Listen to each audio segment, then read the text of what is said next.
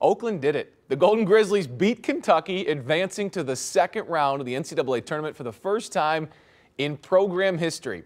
Greg Kampe said they were playing with house money, already winning the Horizon League tournament and cutting down nets.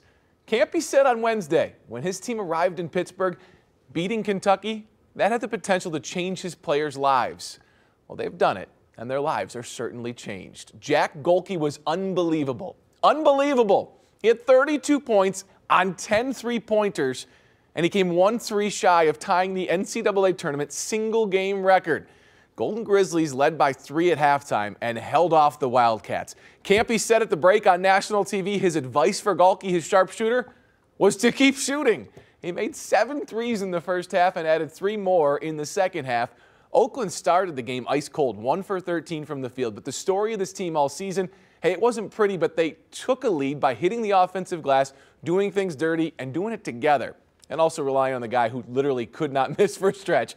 Oakland, in Greg Kampe's 40th season as head coach, won the Horizon League regular season title, then won the Horizon League tournament for the first time ever, and now this. History for the black and gold, an amazing, amazing night. I got asked this a couple days ago.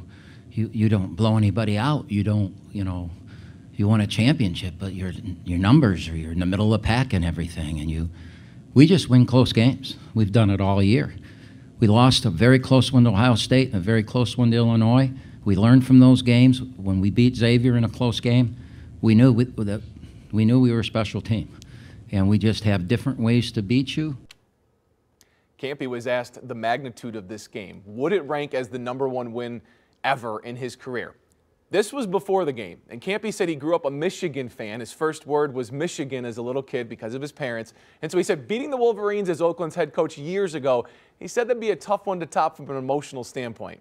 You better believe tonight is going to rival that one, if not surpass it. Oakland is on to the second round of the NCAA tournament, taking out Kentucky.